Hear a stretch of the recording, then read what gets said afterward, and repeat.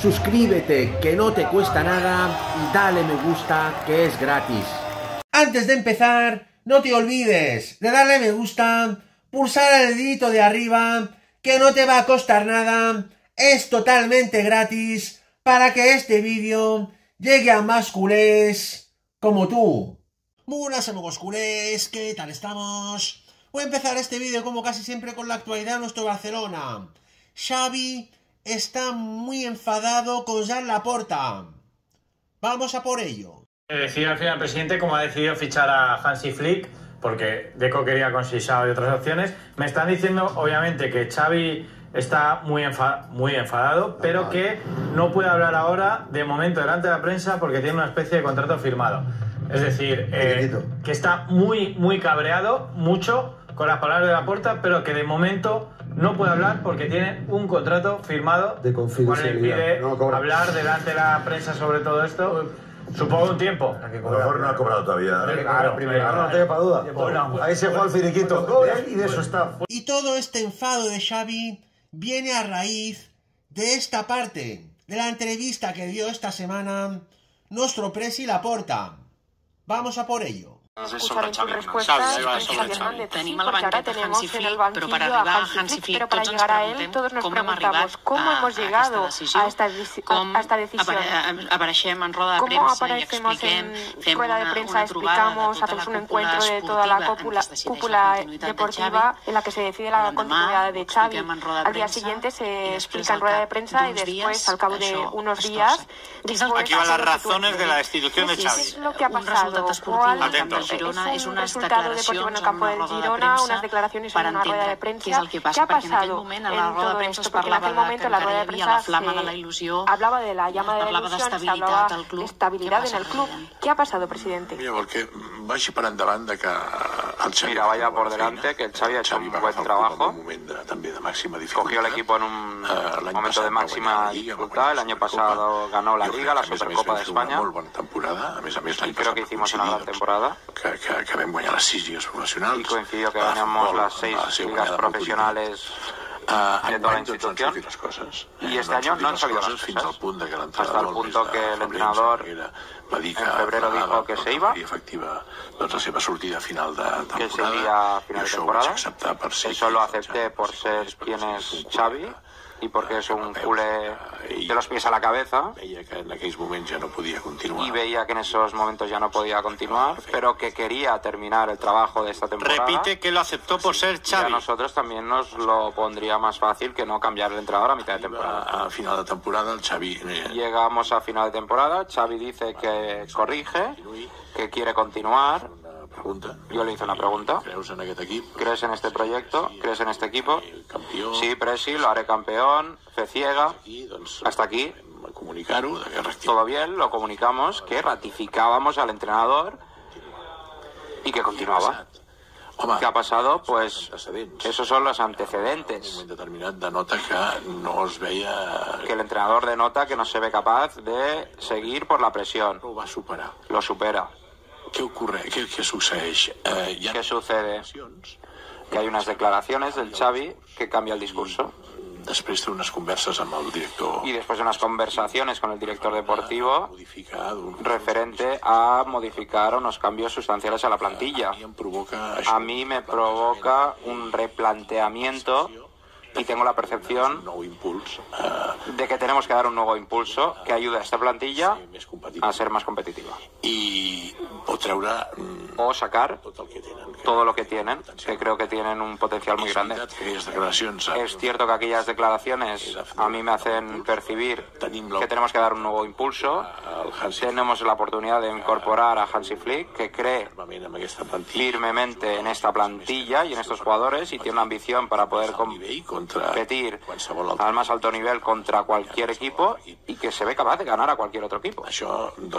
Eso determinant fue determinante en el- para el momento de tomar esa decisión y creo que en ese sentido se ha terminado de una forma muy elegante. Además, Xavi ha cumplido su palabra, nosotros también. Hemos llegado a un acuerdo y Xavi tiene las puertas abiertas por, para siempre, porque además de ser una leyenda Es una persona que se ha ganado esos méritos y en ese sentido decir que tengo la sensación de que se ha terminado bien y que vamos a dar un nuevo impulso a la plantilla. O sea, están las razones que las contamos en el chiringuito. Aquí lo adelantó Jota en el podcast. que vuelva a la explicación. Cuando usted hablaba del discurso de Xavi con el que, que hace cambiar a usted de opinión. Todo iba bastante forzado cuando aceptamos la continuidad. ¿Forzado por parte de quién? Bueno, porque ya teníamos asumido que se iba. Enfrente a esa en aquells moments eh, hi ha un... A ese cambio de opinión, en esos momentos hay un punto en que Xavi es una leyenda, que la respetamos mucho, y su entusiasmo nos hizo tomar la decisión de rectificar. Però sí que hi havia ja, a partir del moment que fa aquelles declaracions... Pero sí que a partir de esas moment, del momento de esas declaraciones y que pide unos cambios que creo que son sustanciales dentro de la plantilla... Se ha publicado, señor presidente, perdona que le corte, eh, una lista de nombres de de bastante peso. Si me permites, Llorens, no voy a entrar en ese tipo de informaciones porque es alimentar alguna cosa que ya, ya ha pasado. Hablamos de cambios sustanciales. La dirección deportiva no lo ve claro. Yo luego, después del discurso, tengo la percepción de que tengo que dar ese nuevo impulso. Y creo que tenemos todo el derecho. Como junta directiva, dirigimos la entidad de tomar esas decisiones. Y si el entrenador puede rectificar, nosotros también podemos rectificar porque es de sabios. Y creemos que lo mejor para esta plantilla es un entrenador nuevo que dé un nuevo impulso y que realmente crea 100% en esta plantilla y que además tenga la ambición necesaria y suficiente para competir contra cualquiera. Esta decisión la toma en solitario, la, la toman como usted es la máxima responsabilidad. Yo asumo la máxima responsabilidad de tomar esta decisión como la gran mayoría que se toman en, en Can Barça. También en esta parte de la entrevista nuestro presi afirmó que notaban que el equipo se caía físicamente en el minuto 60 y que físicamente la plantilla estaba mal preparada. Y esto a Xavi, pues al parecer le ha molestado muchísimo. Yo es que estoy alucinando. ¿Acaso lo que ha dicho Laporta es mentira? ¿Acaso el equipo de Xavi no estaba hecho una mierda físicamente? A mí me da que esto va a ser solamente el principio de una guerra sucia de Xavi contra la puerta. Y si no, tiempo al tiempo. Y ahora seamos con el temazo principal. Bombazo de última hora. Duro golpe al madridismo. Ya es oficial. Un crack rechaza a Real Madrid. Para jugar en el Barcelona se trata de nada más y nada menos que del mejor lateral izquierdo del mundo, que todavía pertenece al Bayern el canadiense tan solo 23 años de edad, Alfonso Davis. Como sabemos, Alfonso Davis ha dicho textualmente a Florentino Pérez que no voy a jugar en el Real Madrid, supuestamente para renovar por el Bayern. Pero ojito, una fuente deportiva muy importante acaba de informar que quien está detrás de estas calabazas que acaba de dar Alfonso Davis al Real Madrid de Florentino Pérez es nada más y nada menos que su ex entrenador y actual entrenador del Barcelona, Hansi Flick, y su representante, el superagente israelí Pini.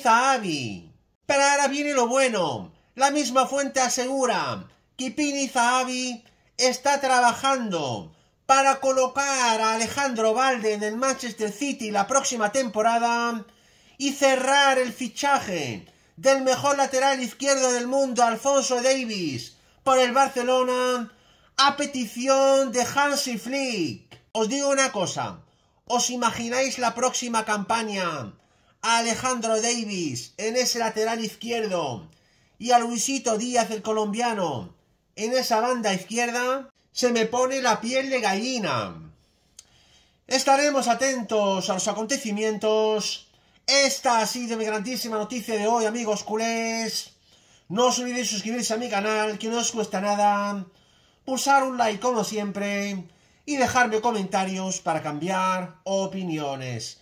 Muchas gracias. Forza Barça por siempre, vamos a por todas. Y nos vemos muy pronto en mi próximo vídeo. ¡Vamos!